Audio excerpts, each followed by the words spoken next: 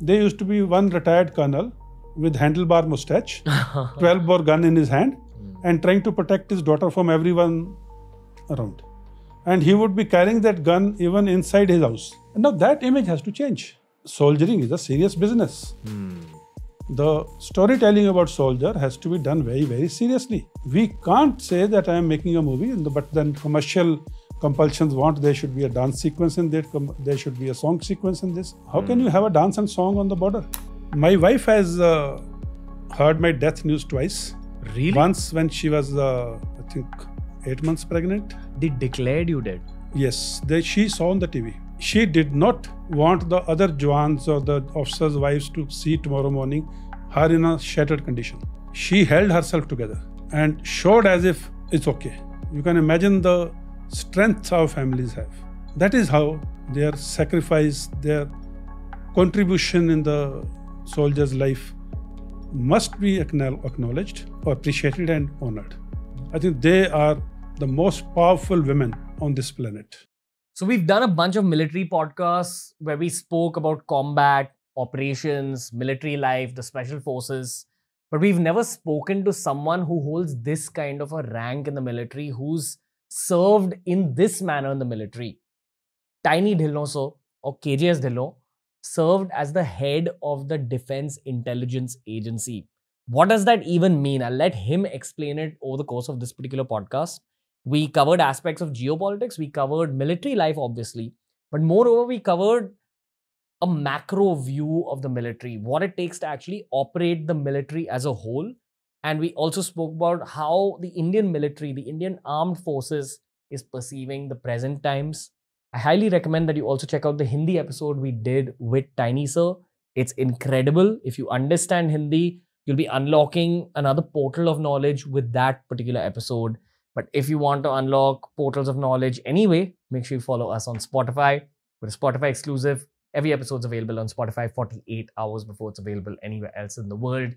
KJS Dhillon sir on the Ranveer show, spreading knowledge, spreading perspectives. It's another powerful Indian Armed Forces episode.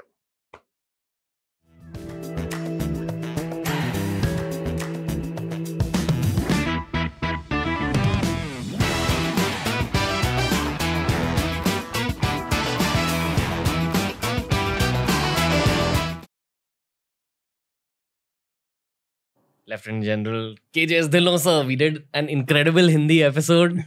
Welcome to TRS English. Thank you. How are you, sir? Oh, always great. Okay, you had a good time on Hindi? Yeah, yeah, absolutely. Okay. So uh, I'm thinking we make this a quick and snappy episode. It's primarily self-education here. Um, you know, I've had lots of military veterans on the show. You were one of our most highly requested military veterans because of your Twitter presence, because of your entire military tenure. There's a lot of curiosity about you. And I highly recommend that audiences, especially if you all understand Hindi, go check out our Hindi podcast for some incredible uh, prequel insights. But this one's kind of a more present times episode. So, so did you have fun on the Hindi one? Yeah, enjoyed it. Tiny sir. Why do they call you tiny sir? You're easily 6'2, 6'3 at least. Six three. You're 6'3 and you're an imposing figure. Like I can tell that, you know, this is there weight training that's gone into this? A lot of it. like your bone structure, everything is like, you know, really strong. I wouldn't want to face you in combat. but we are friends. but I have to actually ask you this, sir. With your kind of frame and you're 6'3, your weight training, so you're a white guy and you've got Punjabi genetics. so, uh, is that an advantage in combat or is it a disadvantage? Because I'm assuming if you're a smaller guy, maybe you're able to maneuver more easily. But correct me if I'm wrong. See, uh, gone are the days of physical combat. Hmm. The trench warfare of First World War, Second World War, where you are physically assaulting an enemy, the bayonet fixed, and at times you get into a close quarter combat. Hmm. These days, it happens very rarely in a conflict situation or a combat situation with counter-terrorist during counter-terrorist operation, where the terrorist is running out and you weapon has dropped or somewhere you got hold of him and you don't want the collateral damage. So in that type of a situation, maybe there is a you know close quarter battle. Otherwise, as officers, Hmm. the your height, your weight, and other things they don't matter. Hmm. What matters? It is a your thinking faculties, Hmm. your leadership qualities, how you can assess the situation, how you can plan your next move, and how you can lead your men with valor, courage, and uh, bravery. Yeah. That is what matters, and in that, the physical appearance has got no place. um, back when you were very actively a combat soldier, and I'm assuming that at a certain age, um, maybe the army doesn't allow you in combat. It probably works just like a sport because physical faculties start withering off at a certain age. But back when you were like actively involved in combat, were there any hand-to-hand combat situations that you had to go through? Uh, not uh, individually. Okay. not individually, but there were instances, especially in the built up areas during counter terrorist or counter insurgent operations, where an insurgent or terrorist was trying to escape the cordon and the boy had caught him, but he didn't want to fire because the fire at that situation can go into a neighboring house and you know Hmm. injure a innocent civilian. Hmm. So at that time, the minimum use of force is the norm in such situations. very direct question again. I always fear bringing up the topic of movies about the military with actual military vets. Uh, which side are you on? Are you okay with military movies, or do you think that it's not a correct dis- uh, depiction? Which I'm sure it's not in many ways. But does that anger you, or like I mean, just generally, what's your opinion on military movies? See, uh, communication, expressing yourself, showcasing what you are doing, keeping the security as confidentiality aspect in mind, I am all for it. Hmm. Our operations, especially in counter-terrorist and counter-insurgency areas, are so transparent. We need to tell our stories. Why? We need to tell the public, national and international, this is how we conduct our operation. The, there is a very false narratives being made by the the enemies of the state or people who are not friendly to India. Hmm. We need to counter that narrative with actuals. Hmm. Truth prevails. Hmm. Transparency prevails. No narrative building will have any ground to stand on if other party is telling the truth and transparently. So, how are those uh, enemies building the narratives through social media? There's a, there's a whole lot of machinery into it. Okay. Social media is one part of it. Diplomatic efforts are there, political efforts are there, and all other types of engineering of mind of various uh, people. So, but when you tell a story, suppose I have to make a so some sort of a serial on Indian Army's operations in Kashmir, I must do thorough research Hmm. starting from what type of recruitments, the uniform they wear. If a person is 20 years of age or 25 years of age, he has to be a captain, maximum major. No, he can't be a lieutenant general. So it has to align to the Reality. reality. Then it becomes, uh, unfortunately, I don't want to say it, but I have to say it. Indian cinema, the research work in the defense related movies, although it has come of age, lot has changed, but there's still lot to be desired. Yeah, and I hear this as a general narrative from the Indian military. Yes, because it's not that uh, I'm from the army. If you are, say, whatever you're doing, if your pro- profession is projected Mm. and there are lacunas in that image, Mm. you would feel bad, and then the image being projected is not correct. Yeah. I'll give you a small example. Uh, in 70s and 80s, the Hindi movies which came, there used to be one retired colonel with handlebar mustache, 12 bore gun in his hand, Mm. and trying to protect his daughter from everyone around. And he would be carrying that gun even inside his house. Mm. I just told on uh, some other program this. And now that image has to change. Mm. Yeah. It's a soldiering is a serious business. Mm. The storytelling about soldier has to be done very, very seriously. We can't say that I am making a movie, the- but then commercial compulsions want there should be a dance sequence in that, there should be a song sequence in this. How can you have a dance and song on the border? What's your favorite war movie that you've ever seen? A lot of them. Okay. a lot of them. And uh, at the intellectual level, there's a very little known movie in India, at least Sure. internationally. The movie is called Breaker Morant. Okay. It's about a Boer War in uh, South Africa, Okay. and it's about an Australian uh, officer was working with a British officer, and it's more of a uh, court-martial movie. Why intellectual level? Why I'm saying it's, it's not that physical violence is not there. Mm. There- There is a little bit of it, and it's not that uh, the armies are fighting. It's a very specific incident has happened, and then that officer is put through a court-martial. So 70% of the movies of court-martial and pros and cons and trying to question the ethos and ethics and uh, you know whys and, whys and ifs and buts of it. So it's a very intense movie from that point of view. Okay. I like that movie. And from a more action perspective, any any movie that you felt got it right in terms of real combat scenarios or real army scenarios? A lot of good movies. Uh, Where Eagles Dare, the Saving Private Ryan, Hmm. And uh, even the World War movies and all. I think most of them are very good movies. Uh, So- Saving Private Ryan is a very intense movie. It's a very intense movie. I- And you, And, and let me tell you, a lot of uh, young boys and girls might feel soldiering is all about firing and uh, killing. No, a soldier is a very, very human person. Hmm. He's a very emotional person.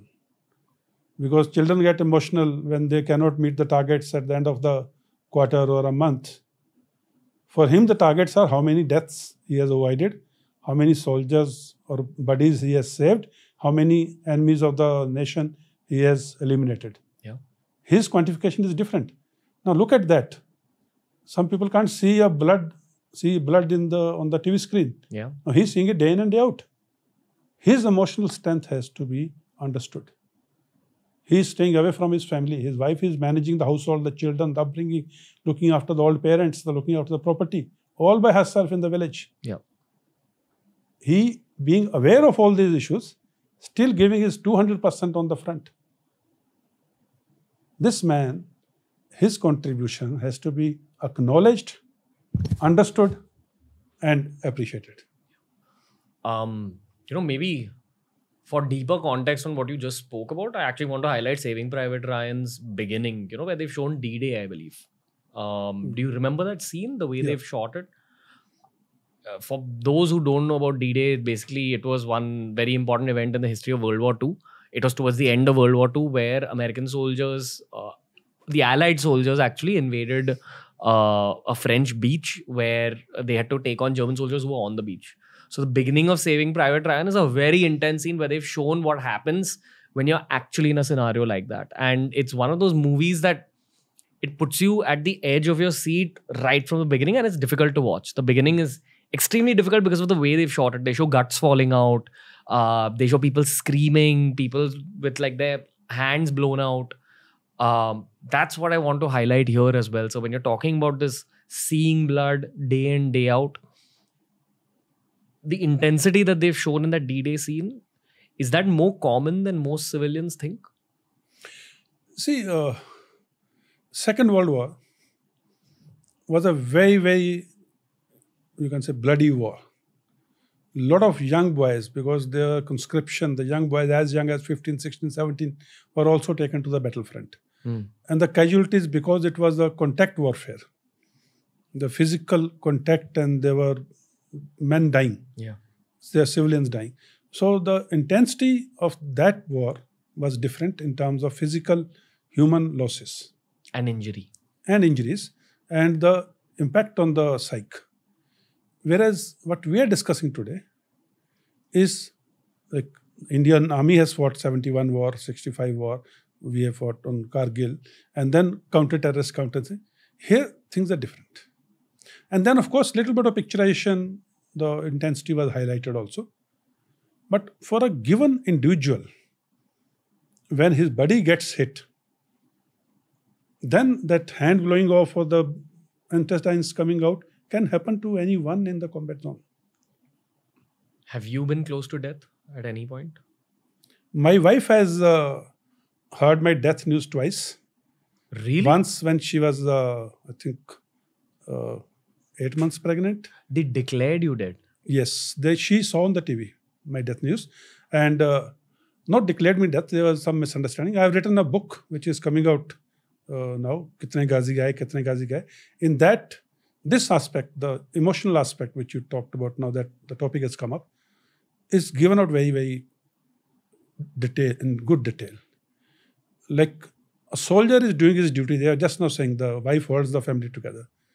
The wife, the father, the mother, the children, their sacrifice goes unnoticed. Hmm. Like in my case, both the times, I've written in great detail about this in uh, my book, but both the times I was not present when my children are born. Both the times are not present when they joined their college. Both the times are not present when they joined their professional college.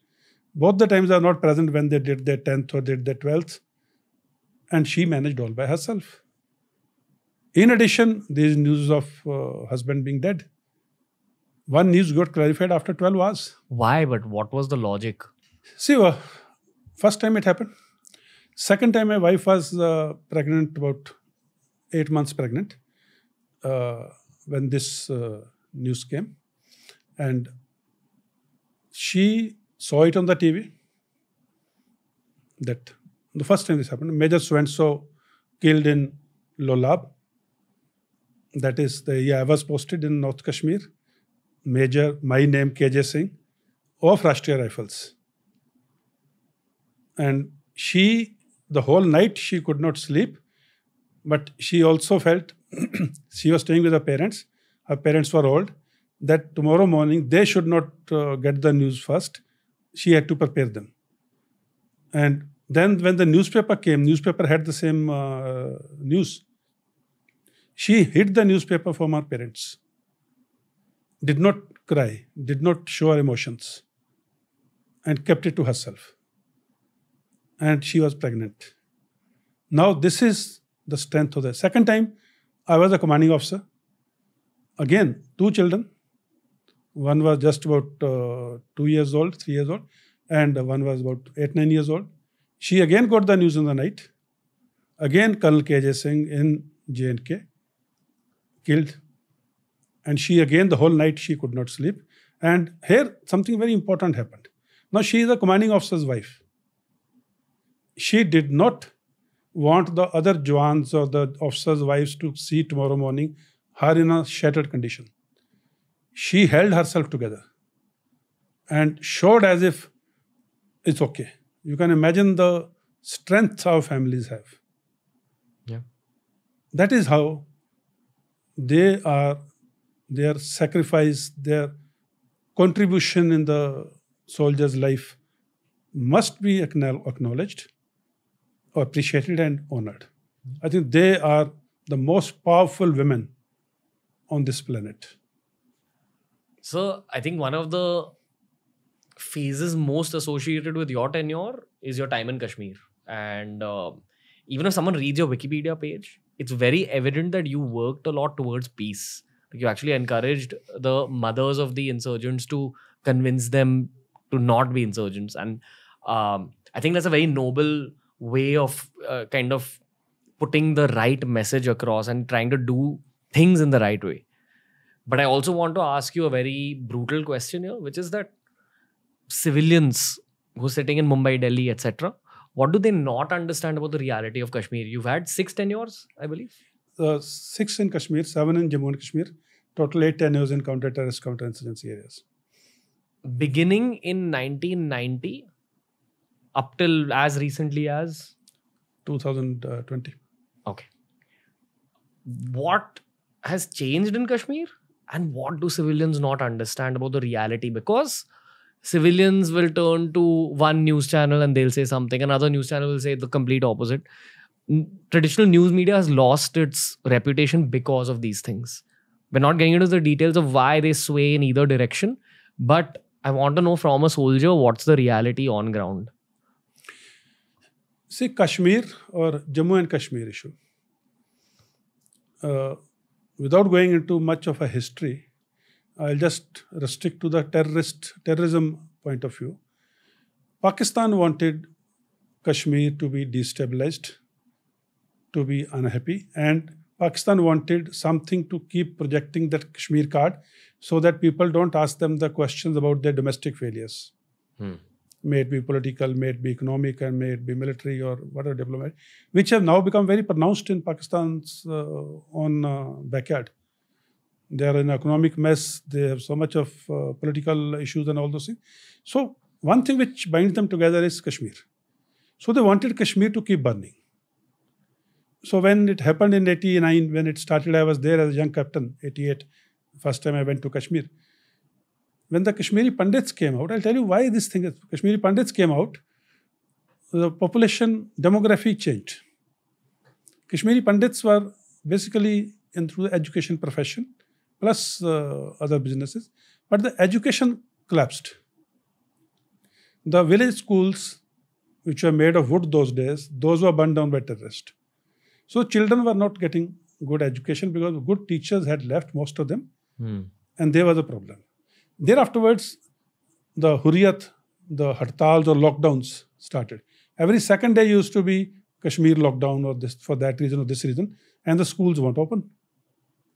The children would not go to school for 200 to 250 days in a year because of these lockdowns. You can pick up your grocery if you feel there are three days lockdown today, or you can pick up after three days of another seven days, but you cannot catch up on your syllabus, which you have missed Hmm. about 80% of the classes. Then they were promoted en masse without exams. As a result, the base of education was very weak. Then they come to 10th, 12th class, when they have to compete for getting admission in good professional college or good universities. So naturally, when the child has not been through a good education upbringing, they could not compete. Now, because of 370 and 35A, mostly 35A, the industry or the multinational corporations were not allowed to come into Kashmir for establishing industry. So the job opportunities were less, economic growth was less. Hmm. And because of terrorism, Kashmir is a basically a tourism oriented uh, society and agrarian society, basically fruits. And when the terrorism was there, the tourists stopped coming. So a lot of hoteliers, a lot of uh, transport businesses, shopkeepers, they lost their income. Coupled with this, in 1990, when India opened up to world economy and world became a global village, 1990 is the time when terrorism started in Kashmir. Hmm. Here there was economic growth happening, job creations happening. There, the education going down, the economic growth going down, the job creation going down. And what happened in the end? When the boy could not get into a good university, good college, he was like a cannon fodder for the terrorist to be recruited. And this is exactly what Pakistan wanted. Pakistan did not want these young Kashmiri boys to get good education, good job. Then they will not ask for what Pakistan is asking. Yeah. So the whole ecosystem which worked towards it. And now, after 5th of August 2019, the 370 having been abrogated, there's a lot of investment which is going in, there's a lot of peace which is happening, there's a lot of awareness which has come in. So things are on the upward graph now, and I am sure they will change for good. What about that lost generation of children which didn't get good education but are also not becoming insurgents? What are they up to now? Kashmiri society is a very intellectual society. Okay. They are a very aware society. They are very education oriented society. Hmm. They are poets, they are musicians, they are artisans, they are, you know, different types of art, maybe carpets, maybe paper mache, maybe walnut wood, or what have you. Hmm. So, this whole generation which you're talking about, it's not the generation which suffered, it is the society which suffered. A society which was so intellectual, which was so nice. Now, today, two thirds of the population of Jammu and Kashmir is below the age of 30. Hmm. And they have grown up under the gun culture, like I always say. So, that society, that gap in that generation or the age group is what we have to understand. Yeah. Two thirds of the population has seen this terrorism happening day in and day out in their neighborhood, in their own houses. Yeah. So we need to understand the psychology, psyche of uh, this generation and need to be more human towards their cause and their feelings. All of them are not terrorists. Let me be very clear. Hmm. The people who are terrorists or people who are terrorist sympathizers, they are in single digit. Yeah. Normal Kashmiri just wants his daily life, his good education, good hospital facilities, good, you know, job uh, opportunities, and peaceful life with the family. Hmm. Um, so what's the reality of Pakistan occupied Kashmir? It's a aspect of the world which is very, I'd say, it's probably not understood enough by Indian citizens. What's the reality of that land right now? Like, if you go there right now, what's happening there all over? Is it peaceful? Is it a hotbed of insurgency? What's happening? I mean, we know the answer, See, but just, I want. I'll just give you a little background to uh, because some of the audience may not understand But Pakistan occupied Kashmir is when Kashmir acceded to India Hmm. On a legal document. Pakistan sent in their raiders to occupy Kashmir by force, and they were almost on the outskirts of Srinagar when the Indian army went in and pushed them back. They have been pushed back from the Kashmir Valley per se, but some part of the erstwhile Jammu and Kashmir, including Gilgit Baltistan and some areas of Jammu and Kashmir, are still with them because they could only be pushed up to a particular place because it was month of October. Then the winters came in, the passes got covered, and there were the river obstacles. So that area, which is still under Pakistan control, outside the Kashmir Valley per se, is called Pakistan occupied Kashmir. They are also same Kashmiri people there. The brothers who are this side and that side of the line of control. The situation there is such. Good thing which happened was the internet, the social media, the you know global village concept, and there was a bus service which was started between Pakistan occupied Kashmir and Kashmir. Oh. So anyone who went to Pakistan occupied Kashmir, spent few days there with their relatives, came back. He came and told the horror stories. The neglect which Pakistan occupied Kashmir was undergoing, the lack of education, higher education facilities. Like today, there are nine medical colleges which are coming up or were only there in J&K, Hmm. Whereas that side they're nil. Hmm.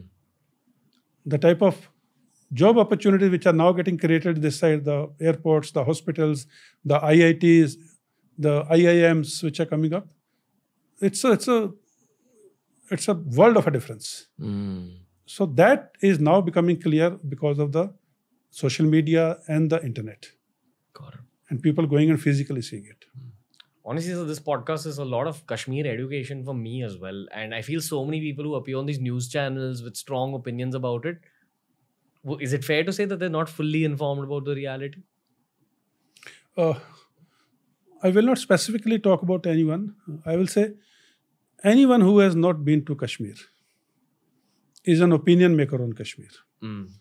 I'll tell you a small anecdote. I was a corps commander in Kashmir, yeah and uh, 370 abrogation had taken place. And a top newspaper chief editor wanted to come to Kashmir and interview me. So we fixed up the date and time, and he flew in from Delhi, and and say the time was fixed, say 11 o'clock, or uh, so he came at about 10:30. So my staff told me, sir, uh, gentleman is here. I said, okay, we can finish off the thing. So he came in and he says, sir, I'm very sorry. I underestimated, overestimated the travel time. I came a little faster. So I said, yes, generally it takes that much time from the airport. He said, but I was thinking there's a lockdown. I'm talking of post 5th of August. There's a lockdown. There'll be a lot of checking, a lot of places. I'll be hauled up at the barrier and asked to prove my ID, and it will take me a long time. So I said, no, nothing like that happened. He said, yes, all shops are open, all roads are open, traffic is moving around freely. There is no roadblocks, there are no barriers, and that's how I reached half an hour early. mm. So I said, uh, who's telling you there was a lockdown? There's no nothing called lockdown. Mm. He said, no, sir, but the whole uh, media is saying there's a lockdown in Kashmir. I told him, I said, you, you are the media, you are a newspaper editor. Mm. And then comes the beauty. Then he says, Sir, actually, I write uh, twice a month, I write an article on Kashmir in uh, editorial column. So I thought I must go and see Kashmir. No, he has not been to Kashmir. mm. He's writing editorial articles on Kashmir. And he has a perception, even being in the media, which is supposed to be aware of things. yeah And that is what I'm saying the narrative building about Kashmir, about wrong things going around Kashmir, are all narrative building. Pakistan till today is saying Kashmir there's a lockdown. mm. Where there are movie shootings which are happening in uh, Kashmir. yeah So they, that's why if anyone who comes on the TV where they can influence a young mind, my request would be you should have done your homework, you should be an expert on the subject, and you should know the topic. Because you spent so much time in Kashmir, sir, please feel free not to answer this also. Um, you witnessed the Kashmiri Pandit exodus? Yes, I was a young captain in North Kashmir in district Kupwara. And uh, on 19th January 1990, before that, we I reached there in September 1988, and I was there till uh, better part of uh, 1990. So I witnessed the situation at that time. However, since I was only a captain and in a particular area with a particular area of responsibility, I written about this in a great detail in my book. Because what happened on that day, what happened prior to that. And a lot of people even question as to why the army didn't do anything. Can you give a gist? Like I told you, Kashmiri Pandits left. Education system collapsed. The ecosystem of Hurriyat, terrorists, and all those people, anyone who didn't align with them, got killed.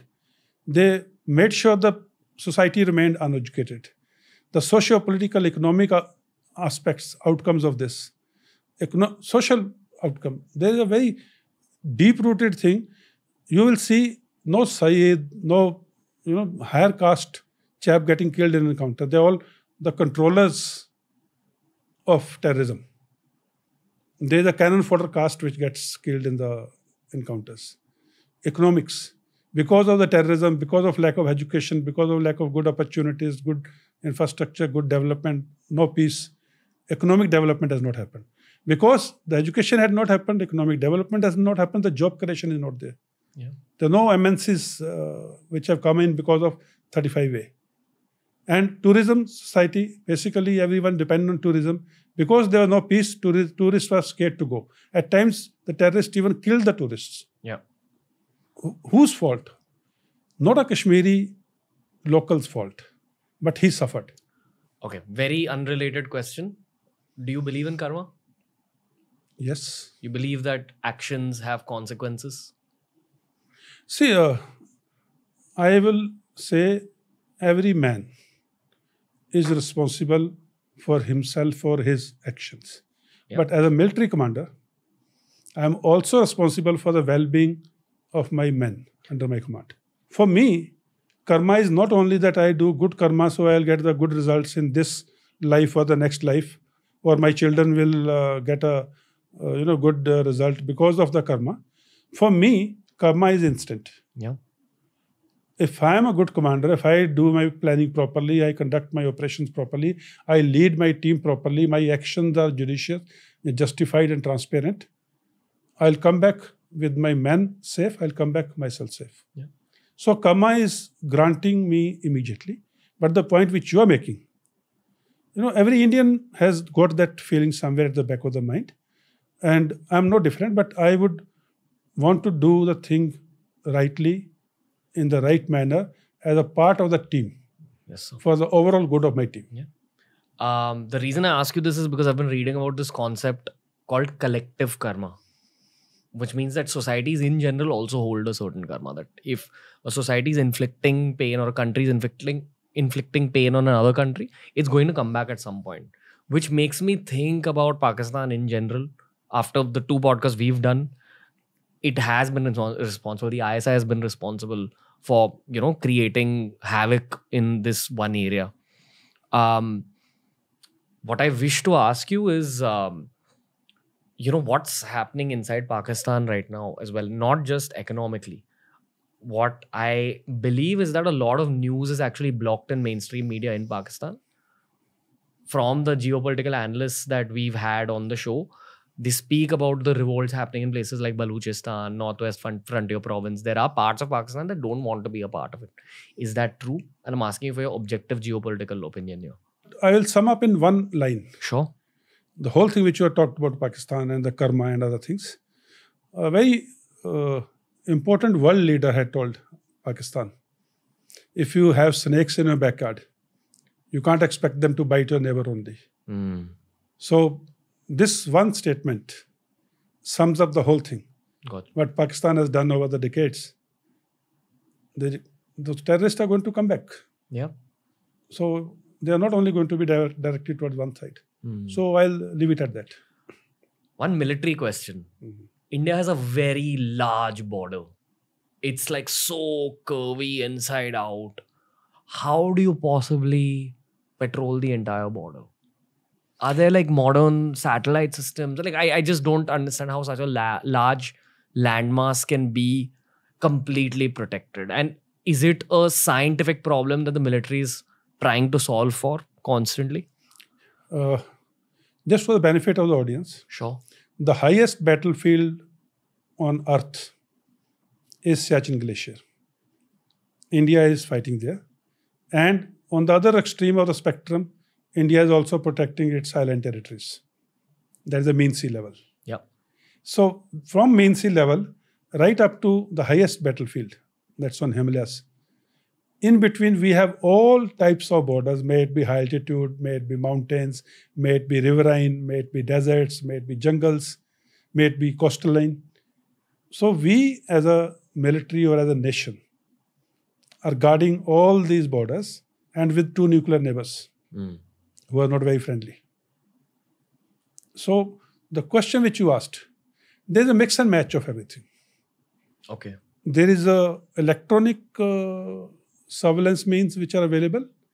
The physical holding of areas which is definitely there, and the physical blocking of areas for a specific period of time, coupled with the electronic means of surveillance. They can be ground based, they can be raised platform based, they can be, you know, from the third dimension. So all these coupled together form a very nice network of border management. Okay. Is drone warfare or drone surveillance becoming more and more important in modern day military life? Uh, as far as I understand, in the same way that we have Army, Navy, Air Force, we've spoken about cyber and space on the last podcast. One thing I didn't touch upon is drones. Has it come to the forefront truly? See, warfare, like any other field, is a dynamic and evolving field. Hmm. From spears and swords to horse cavalry to foot infantry to tanks to guns to helicopters to aerial warships and you know attack helicopters, and the evolving evo- evolution is still going on. Yeah. Drones are just one part of it. Okay. In the recent times, yes, they have gained certain relevance and importance. And, but they're not a standalone system. They're part of the overall war fighting network. Hmm. But yes, in the last few uh, one decade plus, they are becoming more and more pronounced. Their use is becoming more and more lethal and multifaceted. Offense is the best form of defense. Yes. that's something I know every military man believes in strongly. We talk about cyber attacks happening on us or on civilians, etc. I'm 110% sure that there is a cyber unit in the military as well. You don't need to elaborate on it. So if, if you think it's inappropriate, and pardon me if I've asked you something that's too much where I've crossed the line. Um, no, I'll tell you. Uh, we have a defense cyber agency. okay. which works under the headquarter IDS under the CDS. We have the Defense Space Agency, Okay. which also works under the headquarter IDS and the CDS. And they also work in conjunction with other assets of the government, other agencies who are dealing with the similar topics and subjects, non military agencies. And like uh, I was uh, in the CDS secretariat functioning in my last appointment, they work very closely Hmm. they exchange notes on real time basis so it's not that uh, one is working in a different silo they're very cohesive coherent and integrated way of functioning between these agencies Yeah. So they're there and it's an open secret. I'm not uh, telling you Okay. anything which is uh, classified. Again one more question because i'm enjoying talking to you sir. It's not every day that you get a chance to talk to someone like yourself. Um you know when you talk about these agencies secret services of india or even the cyber warfare unit of the indian military i'm sure there is a very well thought out recruitment process which is not going to be the same as recruiting people for the actual military, not the army, navy, air force. That's a whole other process because there, human beings are the weapons. Here, it's much more about probably the human mind being the weapon. So, um, my question is really there are some uh, kind of situations that happen in the public eye where the military is keeping an eye on it and recruiting the best talent out of India. Am I right in saying that? Because that's what There- the youth there- hopes for. There is a two-way uh, manning of these agencies. Okay. One is uh, you go for a tenure, you come back, but your aptitude and your qualification, that's from the regular uh, military. If you are you're having the qualification which is required in these agencies, and you have the aptitude and you are updated because you've done some course or something, then you go for two years, three years, extendable to five years or whatever time. So, but these people's career, where does it start? Like, do they, They, come they, from? they start as a proper military professionals. You're talking about like secret service. No, I'm talking about the cyber and space and other things. Okay. Okay. And even the secret services. It's, There it's is there is also in the secret services also there is there are vacancies of all the other uh, services. Okay. So person who has the aptitude, they are taken on deputation. At times they are absorbed permanently. So there are various uh, you know ways they can work for these agencies or the services. Without going into detail, it's it's the best man for the job. Okay. And these are He- recruited from military colleges, but They are recruiting from all over, depending on if the chap is serving in the police. okay. he has the aptitude and talent he is picked up and taken there is found suitable is retained he can be there for three years five years ten years come back to his parent cadre or he can continue in that cadre so uh, it's nothing bad here Okay. aim is to pick up the best who can do the best job for the country Right. I'm and just, he can be picked up from uh, any service yeah, I'm just drawing out a very hypothetical scenario. Suppose there is a hackathon, you know, these coders come together to code something very elaborate. Would the Indian Secret Services actually go to that hackathon, keep a track of who's the best coder, and then pull them no, in? they they the people who are responsible like CERT and all people who are responsible for uh, you know defense against all these hackings and all they do conduct uh, hacker conferences and all okay. and uh, if they find someone uh, suitable i'm sure uh, matlab i won't know the details of it Yeah. but i'm sure if this chap is good and he's got the potential uh, he must be taken in Yeah. at the end of the day aim is that his qualities or his potential must be used for the good of the nation You need the muscle of the mind sometimes yes in these situations. I'm assuming that it's the sharpest, um, most capable minds out of all these yes of the available uh, assets resources Right. and i'm sure they would be having procedures and ways and means to select who's very good Okay. and then taking him in depending on their requirements Got you. Okay, this is the juiciest portion of both the podcasts, which I have been like looking forward to from the time we met you in that room. Um, I know you can't go into the details of this, but on a very surface level, just for education purposes, what is the Defense Intelligence Agency? Because you headed it. What does that mean for teenagers listening to it? What does intelligence mean? You know, when you say oh, intelligence agency, etc., like there's a very foggy idea. People think of James Bond, people think of spies, people think of RAW. How is this different from RAW? Does it work with RAW? What's happening? okay defense intelligence agency is an agency of the defense which collects intelligence What is intelligence? so intelligence is synthesizing of corroboration of information which is available from various domains Okay. you have information coming from 10 so- sources. You sift it together you synthesize it you filter it. Then there's some voids. You task an agency which is probably better in acquisition intelligence you fill up that void you make the int picture of the intelligence picture. Once it is confirmed intelligence picture then the information which had been gathered is called intelligence. Once it has got some intelligence weight in it. Yeah. now intelligence is of two types one is red hot intelligence as the civilian would understand that information on which or intelligence on which you have to act immediately otherwise it will go bad it's like the four terrorists are sitting in that hut, hut now if you don't act in next 30 minutes they would move out Mm. then this intelligence is of no use. So such like intelligence is even if there's a little bit of void, then you launch, and on ground you go and confirm by various means. Second is the background intelligence. You collected this intelligence and all. You realize, like you would have seen in a lot of movies, where the sleeper cells have been identified, You mean terrorists? but they are not acted against. The agencies wait for the opportune moment, probably when all the you know components are together, or probably when there's a big fish which has come in, or probably when they're just about to launch some very sensational uh, attack. So they will hit at that time. Hmm. So that is called background intelligence. So there are different types of it. And uh, the question about uh, functioning with other agency, like I told you, all intelligence agencies in the country, they work in a very cohesive manner, and they meet practically every day. Every day there is a physical meeting, and electronic uh, flow of information is real time between all these agencies. Okay. This is to make the youth aware that things are happening in the right way. On the previous podcast, you said that the Indian military is always engaged in some form of operation.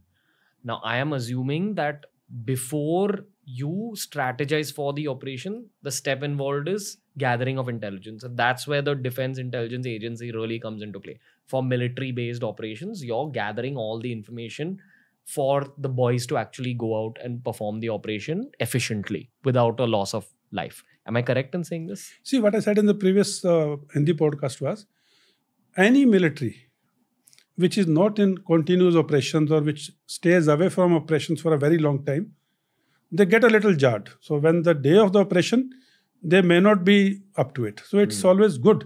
And Indian Army that way is better because we are always in some sort of a operational area after every peace tenure. Right. Now, coming to the point about how the operation and how the intelligence, if you have to buy a TV, what do you do? Research. You search the net, Hmm. you ask a friend who had bought a particular thing, how is this TV working? You'll say it's good. You ask other friend, he said, no, mine is better. Now, this is intelligence gathering. Hmm. Once all this intelligence or the information has come to you, then you start working out which is the best option. Okay. But then you realize you don't have that type of money. Hmm. Then you go for the second best.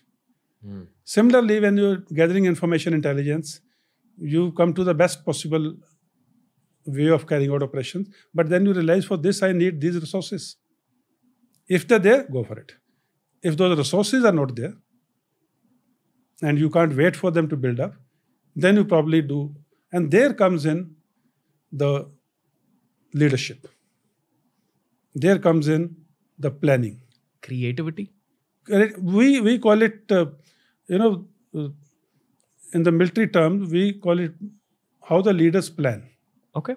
and a good leadership can make a difference between the defeat and victory Okay. because same resources when employed in a particular manner may give a x dividend but the same resources when their orchest- orchestration is done differently can give you x plus uh, dividends so Where- all these things and then operational logistic as i said they're a very important component of any operational planning I'm asking this very respectfully. Um, again, because this is a question that we've brought up on the podcast a couple of years ago. Um, I think we'd asked uh, GD Bakshi sir about this, and that time there wasn't enough information about it. But whatever had happened with Bipin Rawat sir, um, has has the military now understood? It's just a yes or no question. Because See, it is uh, accidents happen. The court of inquiry has been conducted in this incident also, and any other uh, accidents of uh, helicopters or aircrafts which happen. A court of inquiry is a must. And once the court of inquiry is conducted, whatever the outcome, whatever the reasons for it, and then they are improved upon. Hmm.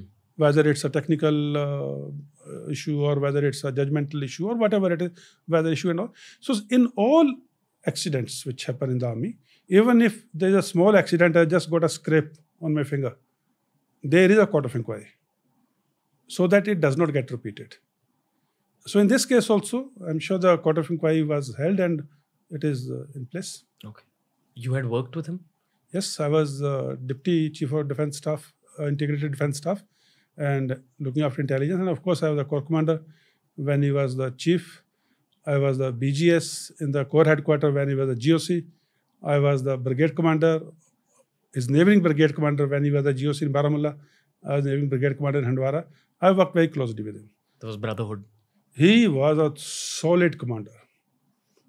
lot of combat experience, very sharp. He will pick up a thing like this, give a decision like this, and he will stand by his subordinates. He had a great vision for future and the perfect commander which you can look for. A military man to the hilt. Why perfect commander? What I'm saying is, he was the man who could gauge your work. He would give you a job and let you do the job. And he is not the one who will keep interfering with you every now and then. He will guide you, he will enable you, he will give you additional resources. He was uh, very good, visionary. What is his legacy for the Indian military?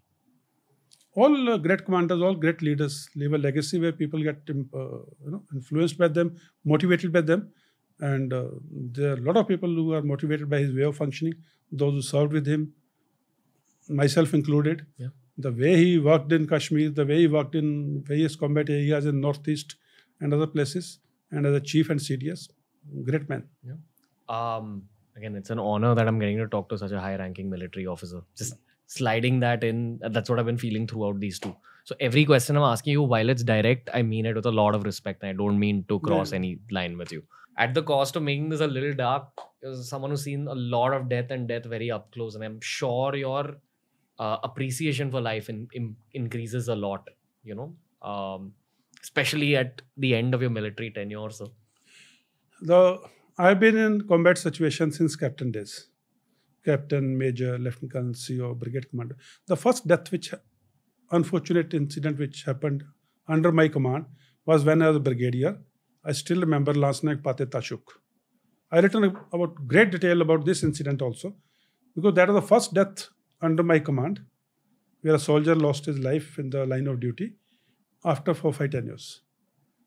The most difficult part of any commander's duty is to lay the wreath on the mortal remains, which as a corps commander, I had to perform that duty for on few occasions, including Pulwama.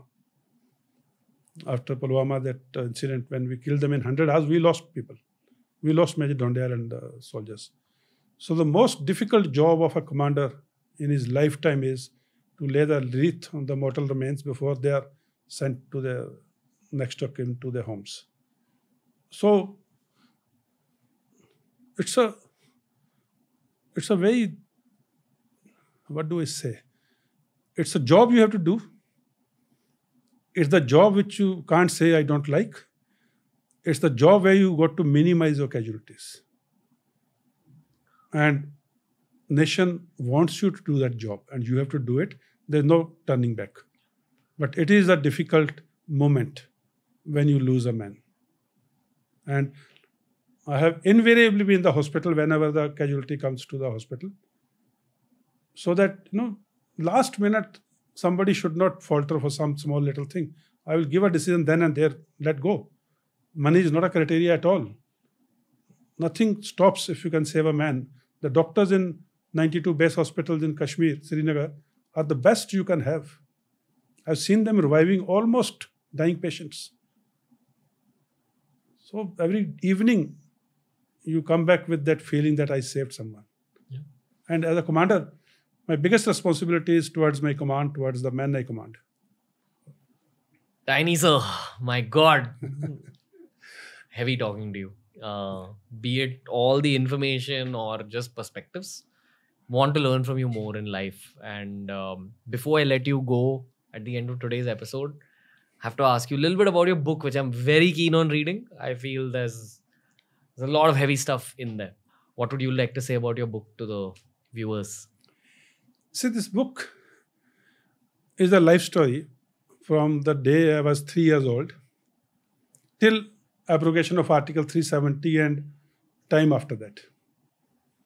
So it's a journey of that small three year old child, his struggles, which actually started at three years of age.